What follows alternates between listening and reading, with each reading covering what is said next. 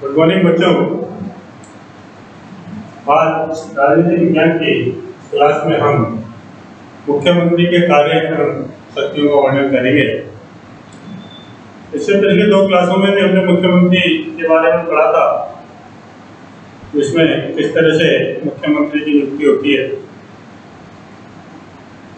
किस तरह से मुख्यमंत्री का निर्वाचन होता है और राज्य की विभिन्न संस्थाओं से मुख्यमंत्री के संबंधों की चर्चा भी हमने करी थी। आज हम इस क्लास में मुख्यमंत्री के क्या कार्य होते हैं, मुख्यमंत्री की क्या शक्तियाँ होती है, उनके बारे में अध्ययन करेंगे। मुख्यमंत्री के कार्य एवं शक्तियों के संबंध की बात करें तो उससे पहले थोड़ा सा आपको पिछली क्लासों से जोड़ देते हैं। कि हमने जो राज्य प्रशासन के बारे में पढ़ा था। कि राज्य प्रशासन की जो शासन की जो प्रमुख जो कड़ी थी एक राज्यपाल और दूसरा मुख्यमंत्री। राज्यपाल और मुख्यमंत्री की बात करी थी कि राज्यपाल जहाँ राज्य प्रशासन का संवैधानिक प्रमुख होता है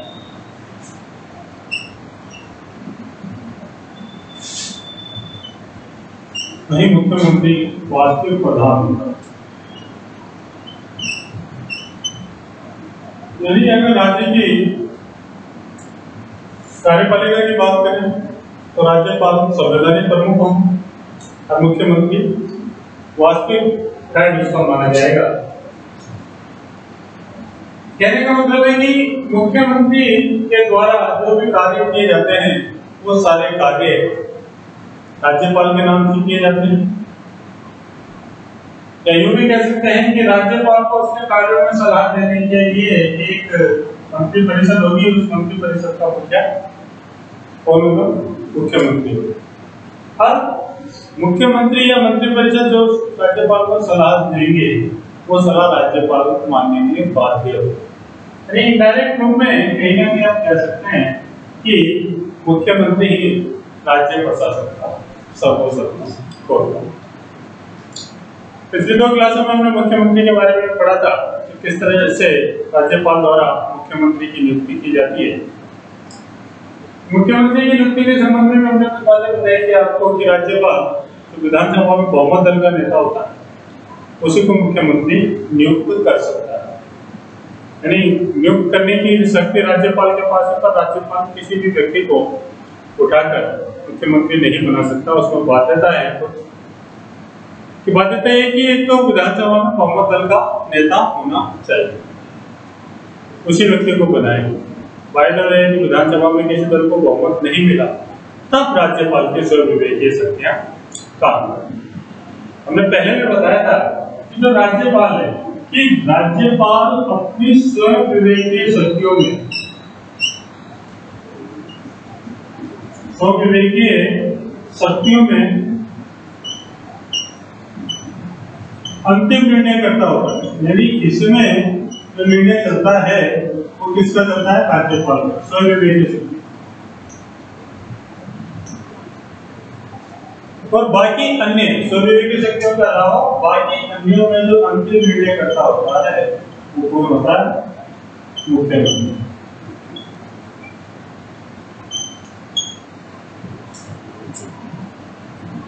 यानी शक्ति में निर्णय कौन करेगा? राज्यपाल करेगा, वो मान्य भी होगा। बाकी सारी शक्तियाँ जो भी होती है, उन शक्तियों में मुख्यमंत्री का ही निर्णय अंतिम माना जाता है। तो राज्यपाल की नियुक्ति, राज्यपाल द्वारा मुख्यमंत्री की। बहुमत के नेता हो। और अगर बहुमत भी मिला तो स्वविवेक के आधार जनरली परंपरा यही है कि जो सबसे बड़ा दल होता है, उसी दल को सरकार बनाने के लिए आमंत्रित किया जाता है। शपथ वगैरह दिलाई जाती है। यूँ कह सकते हैं कि डायरेक्ट रूप से कि मुख्यमंत्री ही राज्य प्रशासन का सर्वे सर्वा होता है। इस कारण से कुछ महत्वपूर्ण शक्तियाँ उसके पास रहती हैं। महत्वपूर्ण कार्य राज्य प्रशासन संबंधी मुख्यमंत्री के द्वारा ही किए जाते हैं। यहाँ पे अपन उन्हीं कार्यों की चर्चा करेंगे कि कौन कौन से कार्य है या कौन कौन सी शक्तियाँ मुख्यमंत्री के पास होती तो सबसे पहले बच्चों, अपन बात करते हैं मुख्यमंत्री की शक्तियों की। तो मुख्यमंत्री की शक्तियों में सबसे पहले अपन बात करेंगे मंत्री परिषद के संबंध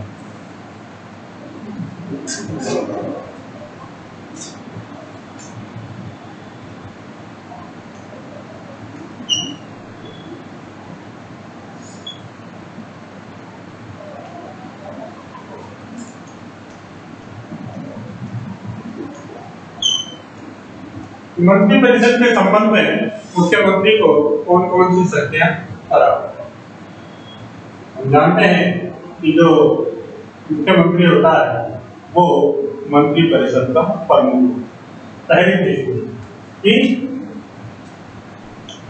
मुख्यमंत्री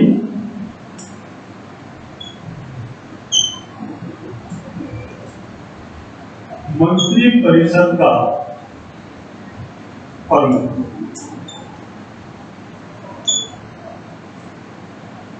यानी लोकसभा में तो सॉरी विधानसभा में जो बहुमत दल का नेता होता है, उसको राज्यपाल सरकार बनाने के आमंत्रित करता है। राज्यपाल मुख्यमंत्री को और मंत्री परिषद को नियुक्त करते हैं। तो मंत्री परिषद जो होती है मंत्रियों का जो प्रमुख होता है, वो कौन होता है? मुख्यमंत्री होता है। यानी मंत्री परिषद का ये प्रमुख होता है। जिसकी नियुक्ति मंत्री परिषद के जिसके सदस्यों मंत्री परिषद के सदस्य मंत्रियों की सदस्यों की नियुक्ति। मुख्यमंत्री के द्वारा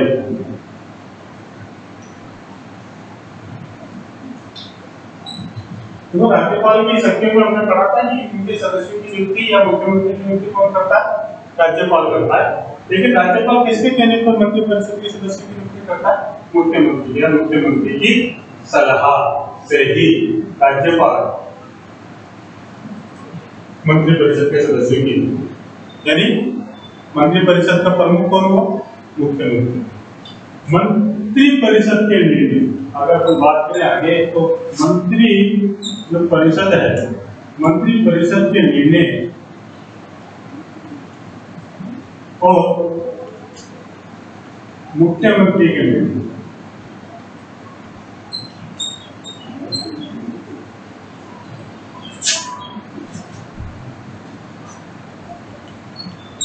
एक ही होते हैं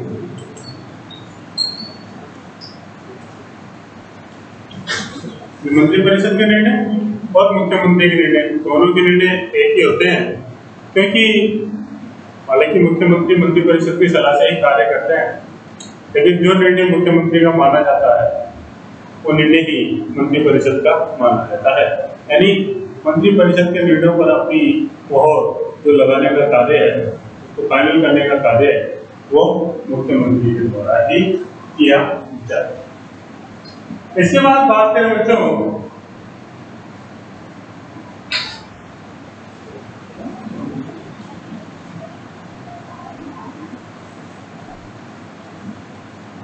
जैसा कि अभी आपको बताया कि मंत्री परिषद के सदस्यों की मंत्रियों की नियुक्ति राज्यपाल करता है मुख्यमंत्री की सलाह पर करता है। और मुख्यमंत्री की सलाह से ही वो मंत्री परिषद के सदस्यों के बीच विभागों का बंटवारा करता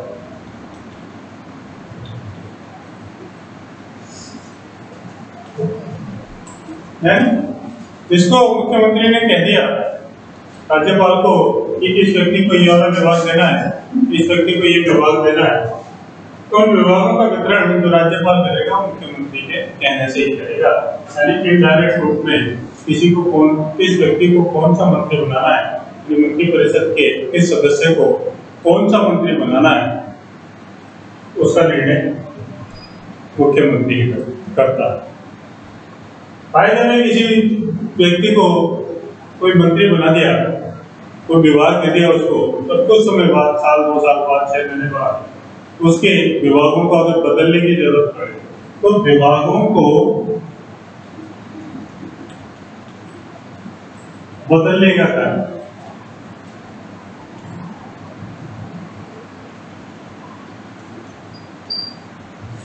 विभागों को बदलने का कार्य कौन करता है?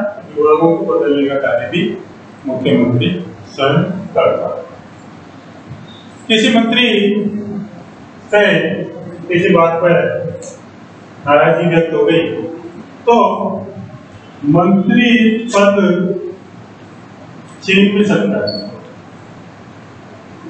यानी मुख्यमंत्री के पास इतनी पावर होती है कि वो किसी भी मंत्री से उसका पद छीन सकता है या उसको त्याग पत्र देने के लिए कह सकता है। अभी छीनने वाली बात है कि इसके छीन किस तरह से छीनेगा तो वो राज्यपाल को सलाह देगा कि फलाने मंत्री को बर्खास्त किया जाए। राज्यपाल मुख्यमंत्री से कहने पर उसको बर्खास्त कर दे। वो उस मंत्री से त्याग पत्र भी मांग सकता है। मुख्यमंत्री के कहने पर उस मंत्री को त्याग पत्र भी देना पड़ेगा।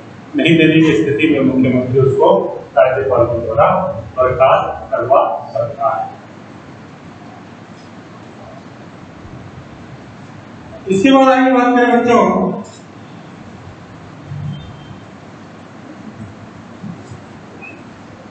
किसी मंत्री के साथ मतभेद हो जाए,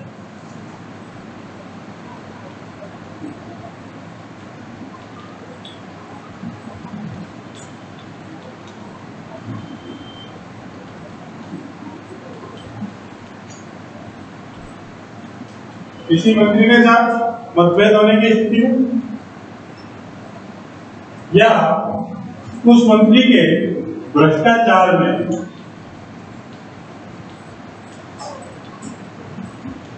लिप्त पाए जाने की स्थिति।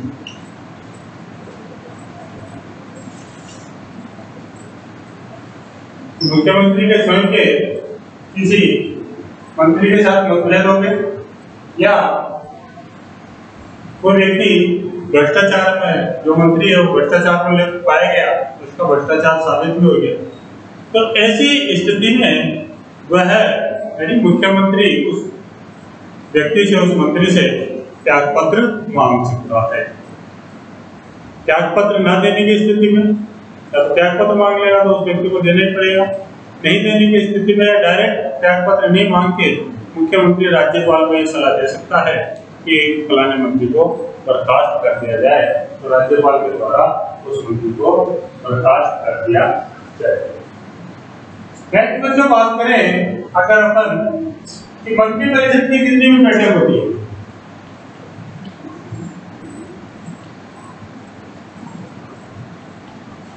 मंत्री परिषद की जितनी भी बैठक होती है, उन बैठकों की अध्यक्षता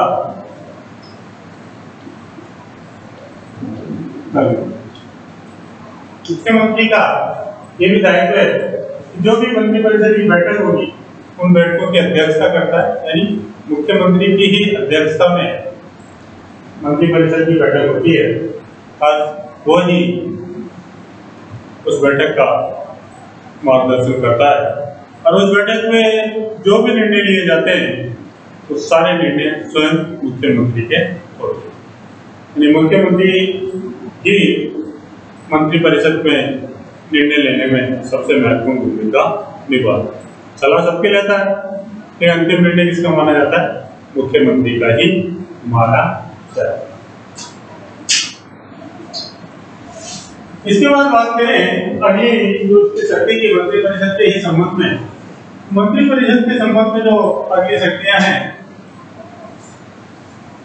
वो यह है कि सभी मंत्रियों के कार्यों में सहायता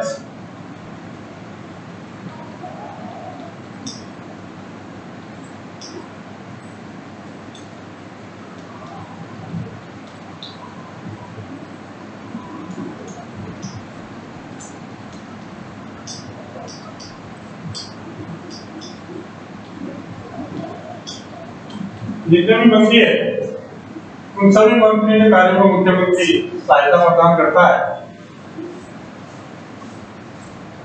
इसके अलावा वह मंत्रियों को मंत्रियों को उनके कार्यों में मार्गदर्शन भी देता है। अगर किसी व्यक्ति, मंत्री को अपना कार्य करते समय तो मार्गदर्शन की आवश्यकता है, सलाह की आवश्यकता है तो वो सलाह या मार्गदर्शन का कार्य उसको मुख्यमंत्री से प्राप्त होता है। आगे उससे बात करें तो मंत्री परिषद का प्रमुख होने के कारण मुख्यमंत्री मंत्री परिषद के कार्यों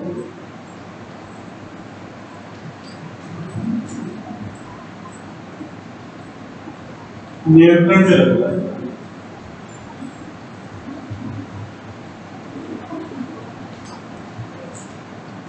कि वो मंत्री परिषद के कार्यों पर नियंत्रण भी रखे क्यों? विभाग का प्रमुख होता है, मंत्री परिषद का प्रमुख होता है।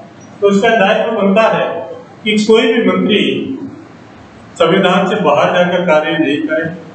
या जो उसके दल का संविधान है जिस भी दल से संबंधित मुख्यमंत्री है, उस दल की नीतियों, उस दल के जो संविधान है एजेंडा है, उस एजेंडा से बाहर जाकर वो कार्य ना करें आप।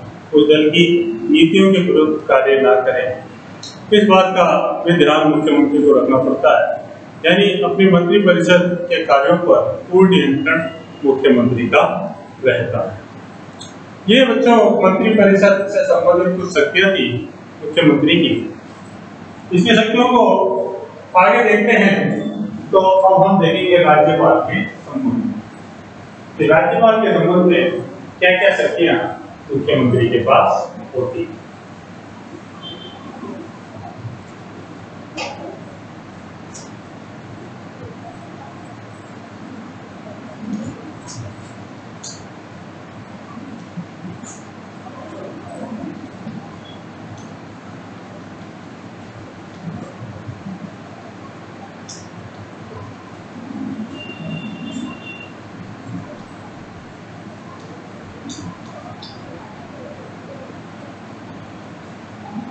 राज्यपाल के संबंध में क्या क्या शक्तियाँ मुख्यमंत्री के पास होती है। पहले तो मुख्यमंत्री राज्यपाल और मंत्री परिषद के बीच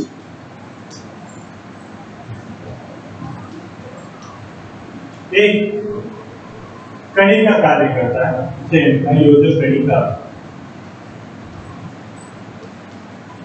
कार्य यानी राज्यपाल और मंत्री परिषद को जोड़ने का कार्य किसके द्वारा किया जाता है? मुख्यमंत्री अगर राज्यपाल को मंत्री परिषद के किसी सदस्य से कुछ वार्तालाप करनी है कुछ काम है।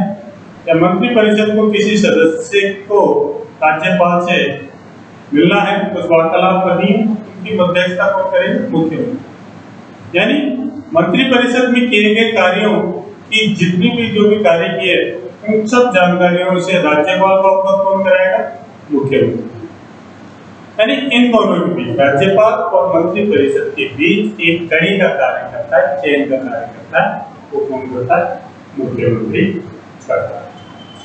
मुख्यमंत्री का ही ये कार्य होता है कि वो राज्य प्रशासन से संबंधित राज्य प्रशासन से संबंधित जो भी बातें हैं, उन बातों से राज्यपाल को अवगत करें।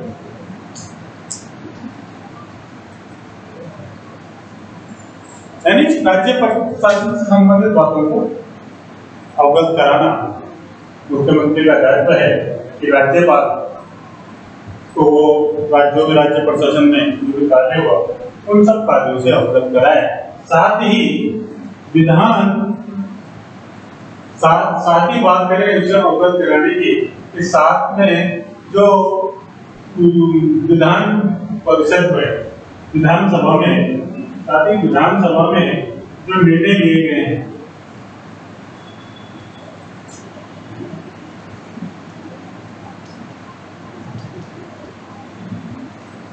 विधानसभा में जो भी निर्णय लिए गए हैं, उन निर्णयों के संबंध में भी विधानसभा के निर्णयों के संबंध, निर्णयों के संबंध में जानकारी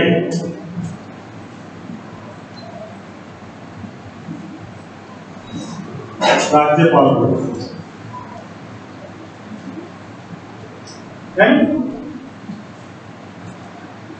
राज्य प्रशासन से संबंधित जो भी निर्णय हो जानकारी होगी राज्यपाल को देगा? कौन देगा? मुख्यमंत्री विधानसभा में जो भी निर्णय लिए गए, उन निर्णय से संबंधित सारी जानकारी राज्यपाल को देने का कार्य कौन करेगा मुख्यमंत्री ये मुख्यमंत्री की राज्यपाल के संबंध में एक शक्ति है. हमने पहले भी पढ़ा था राज्यपाल के संबंध में राज्यपाल की पढ़ रहे थे तभी भी हमने पढ़ा था कि राज्यपाल कुछ महत्वपूर्ण पदों पर नियुक्तियाँ करता राज्यपाल राज्य के कुछ महत्वपूर्ण पद होते हैं, उन महत्वपूर्ण पदों पर नियुक्तियाँ करता है। लेकिन राज्यपाल जो भी नियुक्तियाँ करता है, वो मुख्यमंत्री की सलाह से ही करता है। यानी इनडायरेक्ट रूप में उनकी नियुक्ति भी किसके द्वारा की जाती है, मुख्यमंत्री के द्वारा ही की जाती है। यानी हमने शुरू में ही कहा था कि राज्यपाल मुख्यमंत्री के सलाह को मानने के लिए बाध्य है।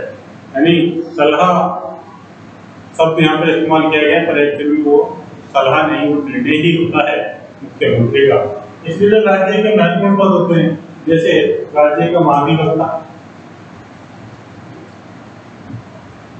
जो राज्य का कानूनी सलाहकार होता है सरकार के राज्य का माली होता हो, या राज्य लोक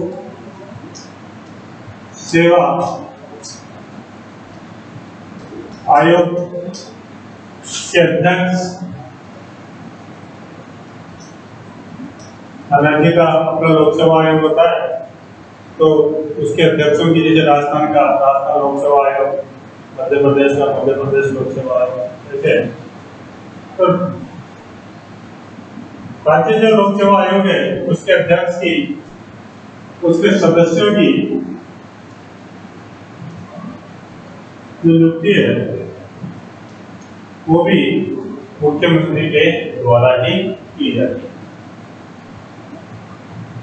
तो राज्य निर्वाचन आयुक्त है।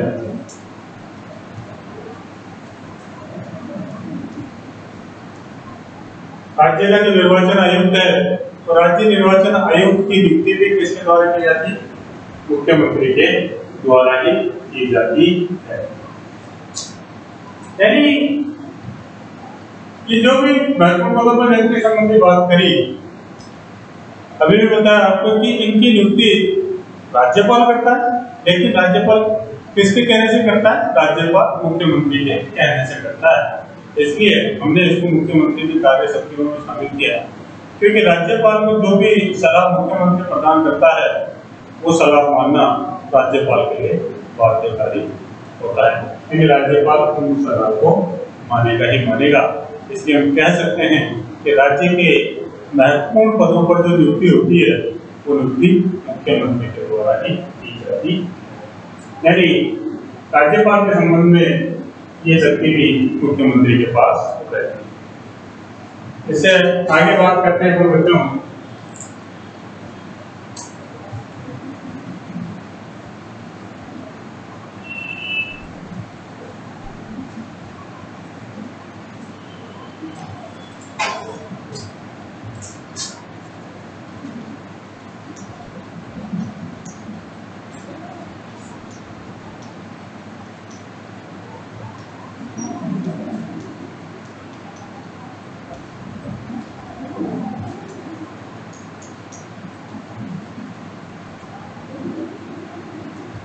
विधानमंडल के संबंध में अगर सचिव की बात करें कि मुख्यमंत्री के पास विधानमंडल के संबंध में क्या क्या शक्तियाँ प्राप्त होती है?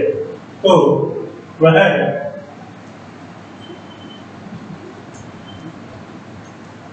विधानसभा।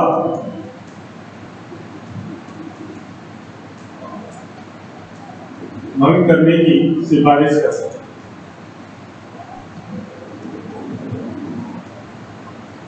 मुख्यमंत्री राज्यपाल को कहकर विधानसभा भंग करने की सिफारिश कर सकता है और राज्यपाल मुख्यमंत्री के कहने से विधानसभा को भंग कर सकता है। क्यों करेगा विधानसभा को भंग? कि अगर विधानसभा को जब भंग करने की स्थिति आएगी कि मान लो गठबंधन की सरकार राज्य में गठबंधन की सरकार जब चुनाव हुए थे, किसी दल को स्पष्ट बहुमत नहीं मिला। स्पष्ट बहुमत नहीं मिलने की स्थिति में दो तीन दलों ने मिलकर निर्दलीयों के साथ मिलकर, सरकार बना ली एक दल ने, जो सबसे ज़्यादा अधिक सीटें जिस दल को मिली हुई थी, उसने अन्यों के साथ मिलकर सरकार बना ली। तो जिस सरकार में दो या दो से अधिक दल मिलकर सरकार बनाते हैं तो उस सरकार को हम गठबंधन की सरकार कहते हैं। गठबंधन की सरकार आज का दौर ही चल रहा है गठबंधन की सरकार का। उन्नीस सौ नब्बे के बाद जो सरकारें देखने को मिली वो गठबंधन की सरकार थी। केंद्रीय स्तर की बात करें, केंद्रीय स्तर की में ज़्यादा देखने को नज़र आया। गठबंधन की सरकारों का दौर। वर्तमान में बात करें तो गठबंधन की सरकारों के नाम से या गठबंधन के नाम से कई अलग ही समूह, एनडीए और यूपीए के रूप में हमको देखने तो दो या दो से अधिक दल क्योंकि जो सरकार बनाते हैं वो गठबंधन की सरकार होती है। ऐसी सरकार पाँच साल चल जाए तो अच्छी बात।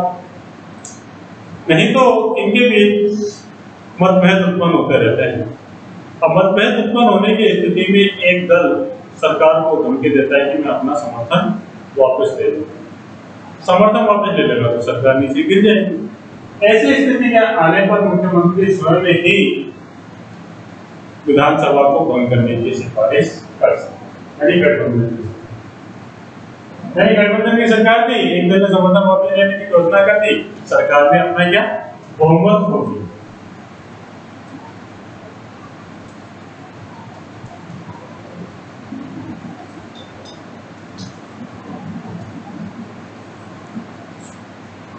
सरकार ने अपना बहुमत खो दिया। तो सरकार ने सरकार का गिरना तय है। तो ऐसी स्थिति में मुख्यमंत्री स्वयं ही विधानसभा बंद करने की सिफारिश कर सकते अब मुख्यमंत्री विधानसभा बंद करने की सिफारिश करेगा तो राज्यपाल को मानना आवश्यक होगा। ये विधानसभा के विधानमंडल के संबंध में शक्तियाँ थी।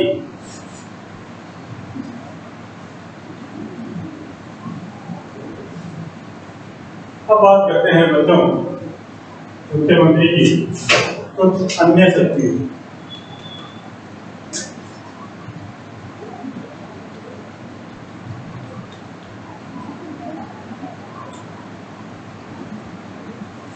मुख्यमंत्री की अन्य शक्तियों की बात करें तो मुख्यमंत्री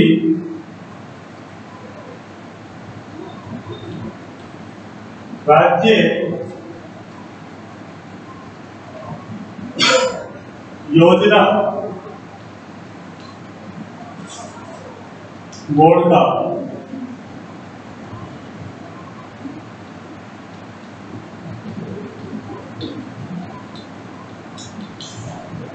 राज्य योजना बोर्ड है राज्य योजना बोर्ड का अध्यक्ष होता है मुख्यमंत्री स्वयं होता है उसकी राज्य योजना बोर्ड की अध्यक्षता करता है इससे संबंधित जितने भी कार्य होते हैं वो मुख्यमंत्री के निर्देशन में ही करे जाते दूसरी बात करें अपन बच्चों को, जैसे योजना आयोग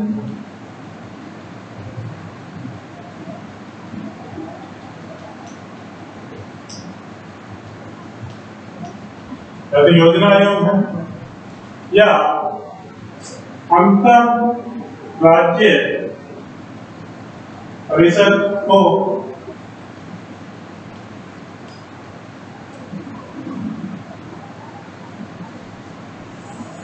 अंतरराज्य परिषद हो नीति आयोग।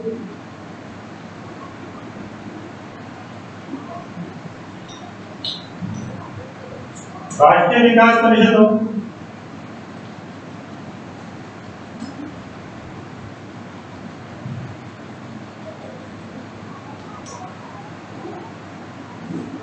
इन सबका अध्यक्ष कौन होता है? इन सबका अध्यक्ष होता है प्रधानमंत्री।